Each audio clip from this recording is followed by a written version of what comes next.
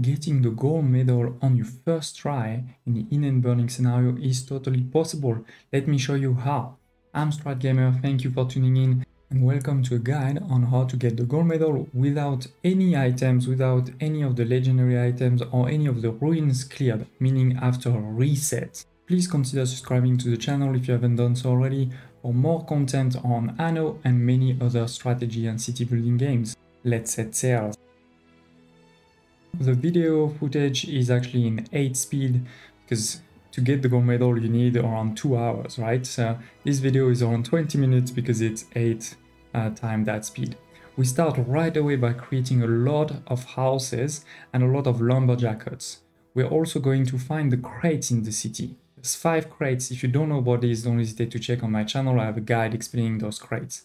I also by the way have a, chan have a walkthrough of the gold medal with items. So if you want to see it in a slower pace, if you want to understand how to do it, don't hesitate to check that walkthrough in my channel. But here we're really going for the record. We're trying to go as fast as possible. We don't have any items. So there's a couple of things that are important. Really getting as quickly as possible a lot of these lumberjack huts, a lot of the fish. We're gonna give fish right away to our people to make sure that we have a lot of workforce and also the islands. There's a lot of islands around the map. They are in a random, they're randomized in terms of the location, but they always give you the same rewards. Once again, I have a guide showing all of these rewards on my channel. Don't hesitate to look for it. But that's what my ship is doing that you may have seen is going to now bring back already some resources, in particular timber, which will help grow my city uh, quicker. Starting also the banana, as soon as I have a bit of resources, see already 24 timber that helps me grow the city. We're starting to clear the first ruin. This one only takes 75 people and also is sort of um, in the way, so um, that's why I'm clearing it. Continuing to send my ship to other islands. This one will give us a great plus 20 bonus on the water quality. It's quite important. Right now it's positive because we haven't started a lot of fisheries, but soon um, that will go into negative. Right now, the only negative is actually the soil, but don't worry, the soil is actually the easiest to manage, so I'm not worried there. You actually manage that negative one by what I just did, which is to put two different farms next to each other. That creates a polyculture effect that uh, is positive, and that's why now we're already in positive in the soil. Preparing the next step already. This monkey is giving me some bananas, great. Next step is going to be to go across the river we are gonna need a bridge, that's 20 timber, but across the river I'm gonna build a couple of trade unions. Each of the trade unions is focused on a type of production. One will be for uh, the EV industries, that's the one you see now. One will be for the non-polluting industries and the last for the farms. I have put in uh, this trade union for the heavy industry an item that you may not have seen before that you get as in one of the crates in the city is the P4 uh, incinerator. It increases the productivity by 100%. So thanks to that, I will need sort of half the buildings necessary. It of course also increase the pollution because pollution is linked to productivity, but that way I need less workforce and I also need a lot less resources to build those buildings, right? In particular, at the end of the game, when you need to build things like the cement factory that requires 25 electric cable, I can build one instead of two, that's quite great. In the meantime, while I was speaking, you may have seen that I've created also the other um, industry hubs, particular the farms that I'm getting now, and also the war clauses. Because we need to get, as soon as we can, to obreros. Don't hesitate, of course, to ask any question in the comments below. You can also slow down the video if you want with the YouTube functionality. And the turn is growing, growing. We're gonna grow really on um, the right side because this is where uh, I think we have a lot of space and also where we could place a nice town hall to cover the whole uh, of the people. Got some fish with one of the event island that will also help because we're almost at zero on fish now. but I'm also creating all of the fisheries across the island.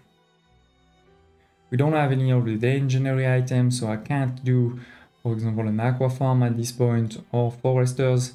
That's of course what's difficult in this um, record of doing the gold medal without any of the legendary items. We also got the injured turtle, we bring it back to our city. That will give us another plus 20 on the water eco balance, so super important. But so far so good, you know, we're making a lot of progress, but we haven't reached the two hour marks yet. And we're already clearing a lot of the different ruins. Soon we'll be able to go to Obreros, and that's when we're going to start the first way, the first stage of uh, the dam. Got the turtle.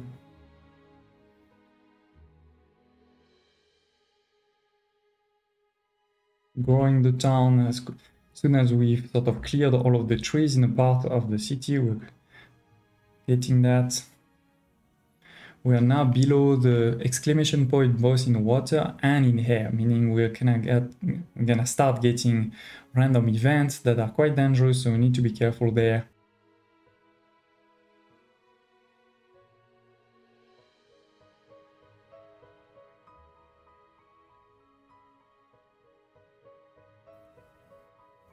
We are getting to Obreros, clearing a lot of the ruins. The first of these events I just mentioned. But we're not stopping there. We're starting already the productions needed for uh, the next stage of everything, meaning we've started obreros production like the tortillas. We've also started uh, some of the mines that will be required for steel or for electric cables. You want to start all of these things as soon as you can, and that's why you want to get to obreros as soon as you can because you need obreros to unlock them and for those this workforce. Continuing my polyculture on that side. You also want to try to never be really in positive in Jornaleros workforce or any workforce. You know, obviously not deep into the red negative, but not in positive either, because if you're in positive, it means you have people that are useless that could be used to do something, like clearing ruins.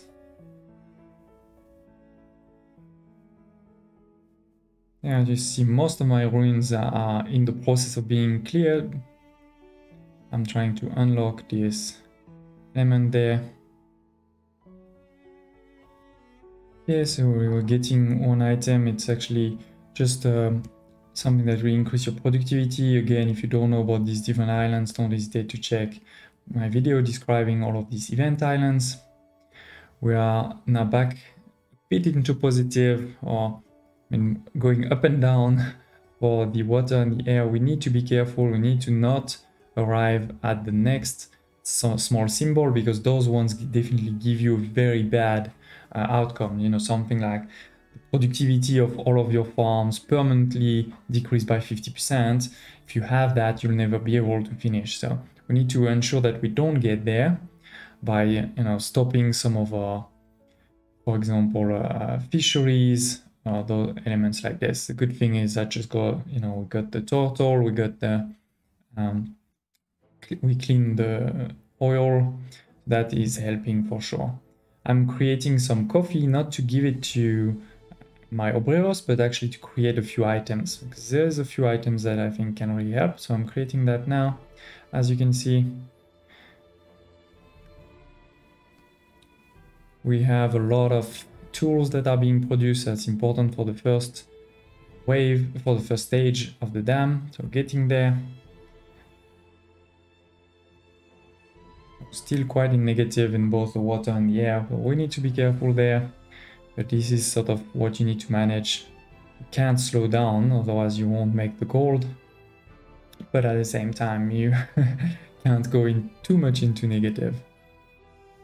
It is totally fine to be below 80% at this point. You need to be at above 80% at the end uh, to get the gold medal. So anyway, we've uh, made great progress on clearing the ruins, which is also helping, of course, with uh, uh, pollution eco balance, but also with by giving us some resources. That's mostly why I'm doing it, to be honest. More for the resources, especially for things like soil, like the one you can see there. I'm doing it just for the resources. I'm making some progress on the dam, which is great because we've definitely now passed the two hour mark. Uh, one hour and 40 minutes, which is totally fine. We need 30 minutes for each stage. So if you think about you know the last two stage that will be remaining, this is only two uh, one hour. I'm uh, I've chose if you may have missed uh, an item that decreases my foresters, but because I don't have foresters. I don't care. I'm gonna use the non-polluting item to focus there. We have quite a bit of population at this point, so I even destroyed a few houses, not a lot. I mean, I it was um, they were in blueprint mode, so I didn't lose any resources. You know, thinking really about what to create now. I'm sending some resources to transmute it.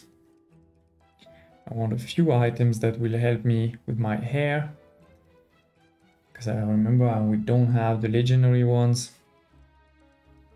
I'm happy to post in the comments below if you have any question on exactly which item I use and things like this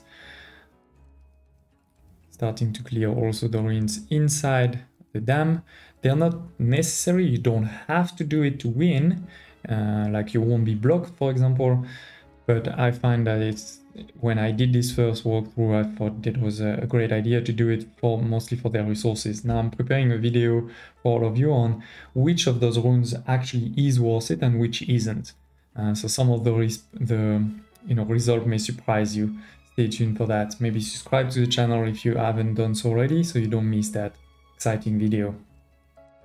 Again, looking a bit at some of the items to see what maybe makes sense. I've stopped all of my fisheries if you missed it to make sure that uh, we're not going further down in terms of the water quality.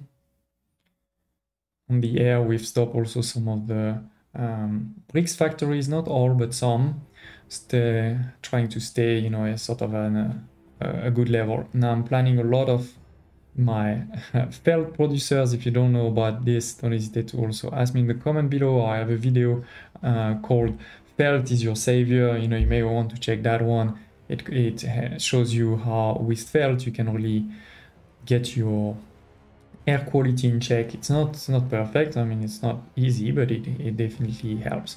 It, it does have an impact on, on your water we're gonna try to manage that.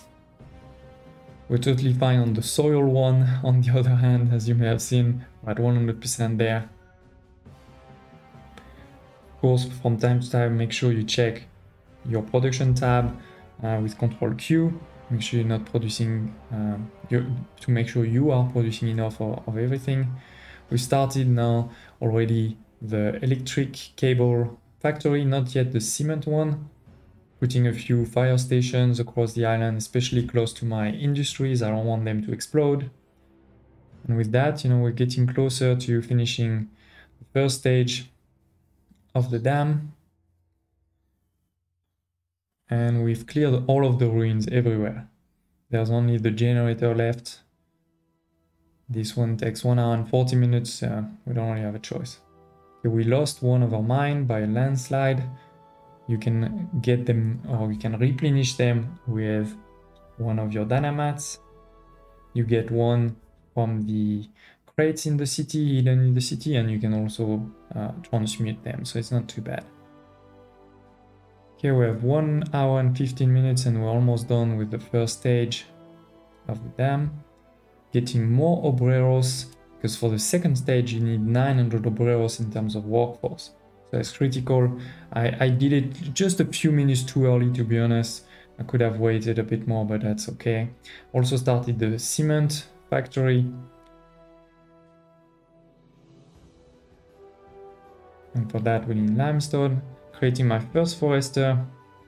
It won't work really well because if you remember we had some uh, negative decisions made on them which are time so they won't be there forever but they will be there a bit i'm putting them where there's no trees like the least tree they are the better effect they will have and now we have started with the second phase of the dam we need bricks, steel, and tools. So what we have mostly except bricks, because if you remember, we stopped the bricks production to help with our air. Now we're gonna have to do that. I, I selected a quest that asked me for two water purifiers. The truth is, I sort of needed them anyway to keep my air in check. So that's what I'm doing now.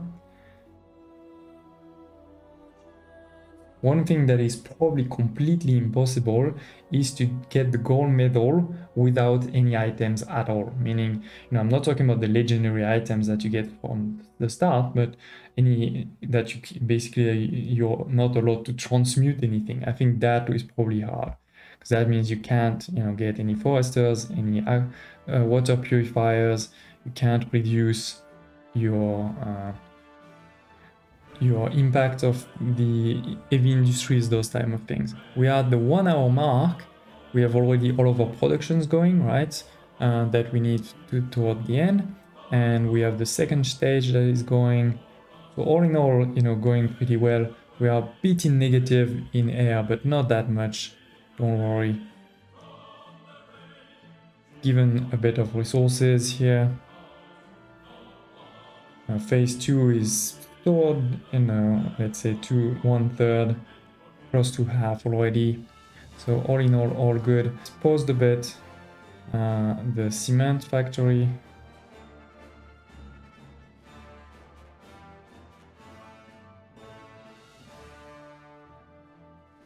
Now, you know, at this point, there's not that much things to do. I obviously need to be careful about my delivery. Uh, right now I'm focusing on the bricks because this is what I need. When we'll be finished with bricks, we'll restart some of the other ones.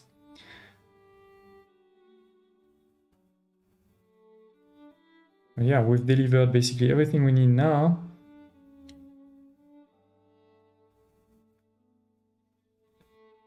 I'm creating a second steel factory to help because the cement also needs factory. So I need steel for delivering the steel, but then I also need steel for the um, cement factory.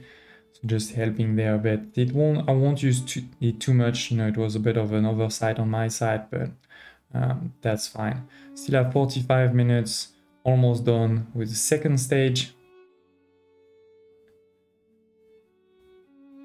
One thing we will need though for the last stage is even more obreros because we need 1500. So that's what you see me doing a bit here.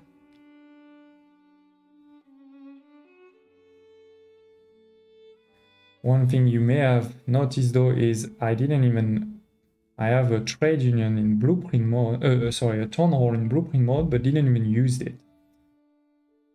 Similarly, putting a second um, cement factory I was a bit scared that I wasn't going as fast um, as I needed. But we have finished now the last stage, uh, the second stage. We're starting the third. We have more than 30 minutes left, so we are good if we are able to deliver all of the resources in time. The only problem now is our uh, air quality is really down. So you need to be careful not to arrive at the final um, you know, icon I'm seeing what I can stop, stopping, you know, I'm, I'm playing a bit here with, with the different industries, stop one and then the other to make sure I don't get there. Now I'm back up, delivering all I need to deliver. We're almost done on the electric cables already, but not on the cement. Really, the cement was the bit, the one I was a bit scared about. Good thing though is we're gonna get cement with the generator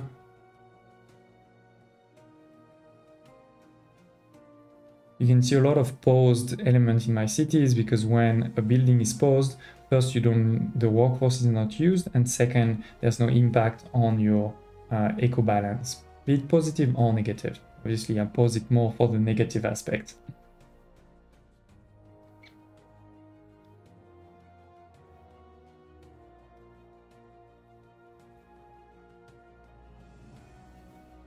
See, we have resources on everything we do need to make sure that we provide enough to all of our people to keep that workforce at the level it is. Otherwise, you know, if you have less workforce, the dam will take longer to be constructed and therefore you know, won't be able to finish it on time.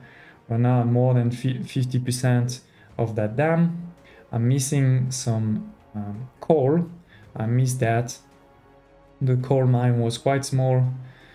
So now I'm placing two small charcoal flint to help with that.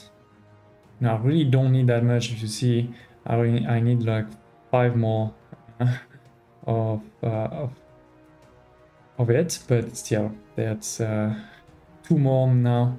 So we're really all, almost there. If my coal mine had been a bit bigger, that wouldn't be a problem. That wouldn't have been a problem. But anyway, it it didn't make me lose time per se, because you know I was in I was in in advance of what I needed to be in terms of delivery of resources. So the construction of the dam didn't stop. Now, even if you deliver all of the resources in five minutes, the dam still takes 30 minutes. On the other hand, if you take 35 minutes to deliver all of the resources, then the dam will take 35 minutes. So that's why having the resources in advance is really critical. By now, I've, I've you've seen I've really delivered everything, so I've stopped everything. So now my balances are super high we are at 100% eco balance, so that won't be a problem for the goal as long as we finished, and we're gonna finish with a bit more than seven minutes. So it is, ladies and gents. As you've seen, I haven't used any cheat, I haven't used any of the legendary items. It was after a complete reset, we were able to do this without legendary items and with the dam, the ruins in the dam not cleared before. It is possible. If you want more content about Anno 1800 and other games, don't hesitate to check my channel, to subscribe, um, to leave a comment below. I'd love to about it, and hope to see you next time.